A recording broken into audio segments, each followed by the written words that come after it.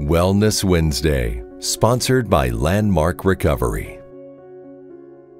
Many addiction treatment centers will not accept patients who have a dual diagnosis or co occurring disorders.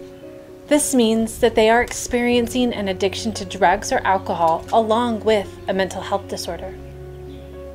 Landmark Recovery believes everyone should have access to addiction treatment, even if they have a dual diagnosis.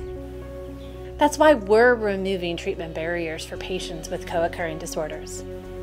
It's essential to treat both conditions at the same time because one may impact the other. We may do this with a combination of therapy and medication. Patients at Landmark Recovery receive six hours of group therapy a day and twice the amount of recommended individual therapy each week. Our therapy groups are designed to help people develop the tools they need to live a healthier life. We do it because it's the right thing to do.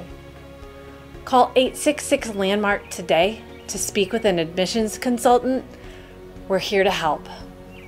Wellness Wednesday, sponsored by Landmark Recovery.